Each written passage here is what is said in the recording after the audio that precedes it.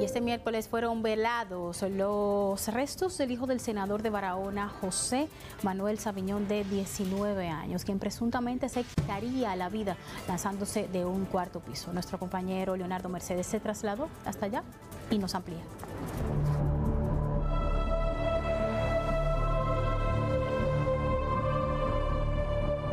Esta semana ha sido funesta para el Congreso de la República si partimos de los hechos que se han suscitado, tal y como es el caso del asesinato del hijo del presidente de la Cámara de Diputados, Alfredo Pacheco, Luis Alfredo Pacheco Rojas, de 34 años, el fallecimiento del hijo del senador José del Castillo Sabiñón y la muerte de un hermano de la senadora de Bauruco, Melania Salvador, sumado a la pérdida de la esposa de Pedro Catrén, senador por Samaná. El Congreso está pasando por una situación difícil.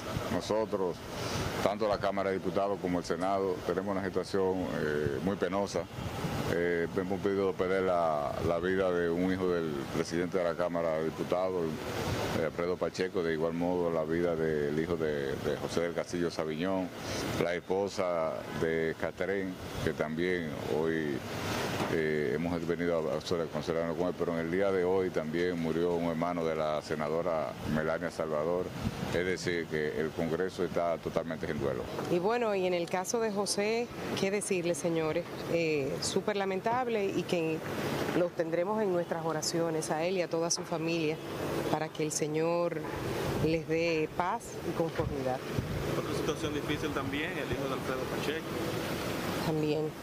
Con relación a ese caso, eh, el querido compañero Pacheco, a quien estuvimos acompañando en el día de ayer, está esperando que se den eh, los resultados de las investigaciones definitivas y nosotros lo que hemos estado es acompañando en el dolor. Todos, la mayoría de nosotros somos padres y y nos, nos, entendemos y nos comprendemos desde esa situación, parte misma de nuestra naturaleza, pidiéndole al Señor que tenga eh, misericordia de ellos y que les dé su paz. Dirigentes, diputados, senadores de los diferentes partidos visitaron la funeraria ubicada en la Abraham Lincoln en solidaridad por lo acontecido. Estamos todos orando y yo pienso que la familia debe pensar más en unirse. La familia me refiero a todos. Y los partidos políticos pensar que debemos ser menos críticos y más proactivos.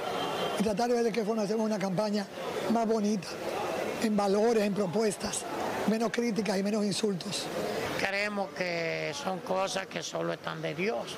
Y cuando Dios decide hay que aceptarla, hay que aceptarla porque Dios decidió que fueran así. Entonces, nada, cuidémonos todos, eso es lo que debemos pensar todos. Sí, aquí lo único que hay que hablar es acercarse todo lo demás a Dios y estar preparado, uno no sabe cuándo les toca, el día que le va a tocar a cualquiera y realmente creo no tiene nada que ver con la pregunta que usted me ha hecho. Estamos uniéndonos al dolor de estos grandes amigos.